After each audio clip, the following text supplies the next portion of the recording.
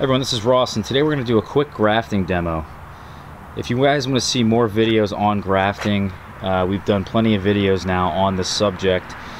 There's a lot of benefits to this, and the big benefit of today is that this is a new variety that I've acquired called Campaniere. Um, I have two pretty mature trees, actually, of this that we planted in the ground. Because it's an exceptionally hardy variety, all the way down to negative, or um, I'm sorry, negative four degrees Fahrenheit. Um, this one's really exceptional in terms of hardiness, but also in earliness, its rain resistance, um, and also the quality of the fruit. So this one I'm, I'm valuing very highly, and what we're gonna do with this, these cuttings here, is that three of these cuttings, which there's three of them, we're actually gonna be planting them in the yard. Uh, so I want a total of five Campaniere trees in the ground this year. But you can see there's only five, there's only three cuttings here. So if we have two in the ground, three in my hand, that would be five. So how am I gonna do grafting? Well, if you take a look at these cuttings, is that there's lots of nodes and we can take off different nodes sort of closer to the top and we can graft that and still have ourselves a pretty thick healthy, full of energy cutting that we can then root in the ground. We've talked about rooting these guys in the ground as well. You can see here, and all these new plantings, we've chopped the trees back to the base. All the excess cuttings that we've had on top, we are now rooting those in the ground and propagating those as uh, extra trees. We did this last year, the old man way of propagating fig cuttings. There's a whole video on that. We did we showed you guys the results. It's really easy. I think it's actually a better way to root cuttings than actually rooting them outdoors in a pot. I think rooting them outdoors in a pot can be a bit tricky and uh, the good news with these cuttings in particular is that these are pretty fresh. These are not cuttings that have been sitting in my fridge all winter time. So the idea here is that these are pretty, uh, you know, gonna be pretty easy to root, but whatever's left over here, of whatever I can take off, we're gonna graft that onto rootstock and have these guys in containers. And that way I have a, about a, maybe two weeks to four weeks earlier crop off that particular variety. Uh, we can also put it in the greenhouse, and I would expect Campaniere or really any of the very early varieties, I'm gonna really be able to get those to ripen probably in July, maybe even, you know, late June, because if I put them in the greenhouse, they're gonna set fruit very early. And we've done that in the past too. We've showed you guys how that's easily um, accomplished.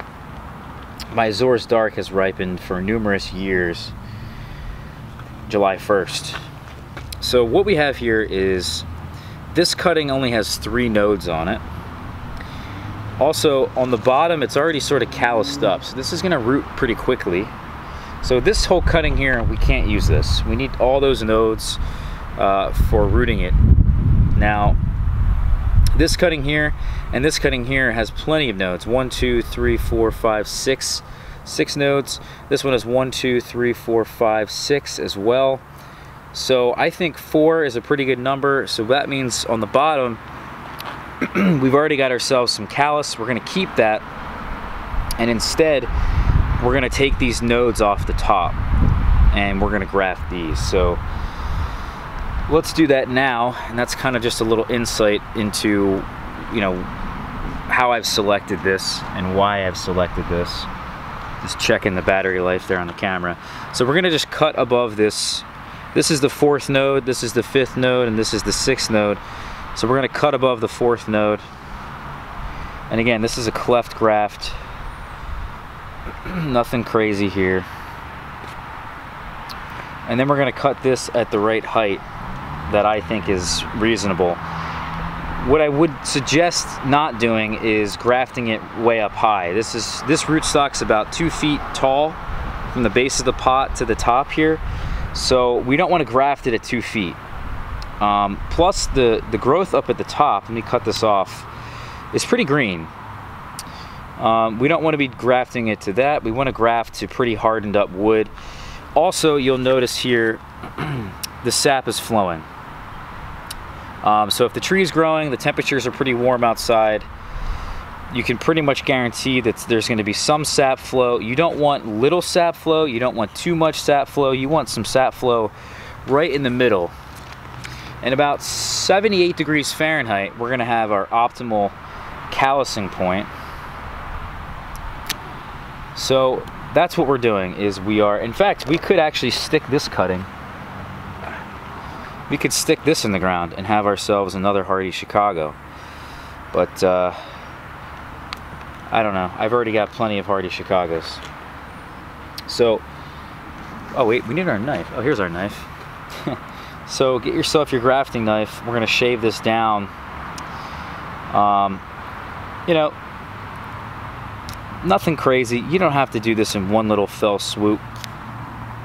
And by the way, this is the first graft I'm doing in a about a year's maybe not well not a year but maybe a whole year so bear with me here. I haven't done this in a while. You got to get your form back, you know what I mean? But this is pretty decent. Um, I don't want to get too carried away shaving this down. That's for sure. Um, you can see here, if I can focus this for you maybe, that's what we're looking at. Just a nice little triangle on the back, on the bottom of the cutting and it's pretty thin. But I don't want to make this too thin because if we make this too thin, it's going to be pretty weak. The next step here uh, is actually we're going to take our paper towel, take off the sap off the top. You may have to do if you have too much sap flow is score it down further down on the on the uh, the trunk, and then we're just going to make a slit. Maybe if I'll do it this way so you guys can see. It's pretty difficult, but we're kind of just making a cut down the middle of this thing here. So that's what I'll do for you guys. And I don't want to go too deep because the, the bark on a fig is kind of, uh, they're kind of weak, very pliable at this point. Um, so you can see that. There's a nice little slit in between here. Very easy. And then the last thing here is just going to stick this in. And the nice thing about this is that the diameter matches up real good. Um, but I'm going to put this slightly on a slant just so I can ensure really good cambium contact. Also getting this as deep in there as I can without splitting this further down. So what I like to do is hold this and then jam it in there a little bit deeper. And that gets you a real snug fit. And that's what we want. We want a snug fit. Last thing we need to do though is tie it off because if we don't tie it off, we are going to be screwed. We also need to support this for an entire year. So this rubber band will offer some good support and then what's going to end up happening is that this graft is going to grow. I don't want to tie this rubber band too tight. It's just really a simple little, just a little bit of support. If we tie it too tight, we're going to girdle the bark, girdle the tree a little bit too much. And that's not what we want either. So this is taking me a bit of time here, but at least I can talk to you guys as I'm doing it. We got ourselves our parafilm. This is in of utmost importance, without a doubt, in any orchards, orchardists selection of tools. I think this is unbelievably useful in so many different ways. So we're just wrapping this and I think the nice part about doing this now is that because the tree is awake and it's not too hot outside, this graft's going to have a pretty good chance of not desiccating, which is good. Obviously, you don't want the top here to desiccate because if the top desiccates or the top dies, in no way is this going to take. The other really important piece here is that we really want to get both sides of the graft to take. When we slit this in here, there's contact on this side and there's also contact behind it. And because there's contact on both sides, if you get contact, you get good contact there, that's really to your benefit because then it's gonna take on both sides and that's a good graft, you know? That's what a good graft looks like. Whereas I've done some grafts and I'm sure you guys have done some grafts where only one side of the cleft graft had taken and the thing's really weak. It has a super weak point in the tree in the graft and inevitably what ends up happening is that it falls off. Um, you get a freak windstorm, something like that, maybe you're not supporting it and it just completely falls off. So that's the graft. And we can label this and know what this is. And then if this takes, which I'm expecting it to, we can then put this pot into a five gallon, a 10 gallon, a 15 gallon, any size pot we want.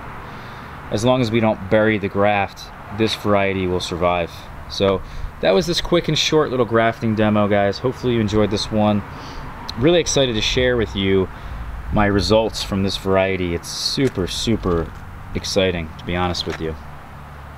All right, everyone. Take care. Catch you for tomorrow's video.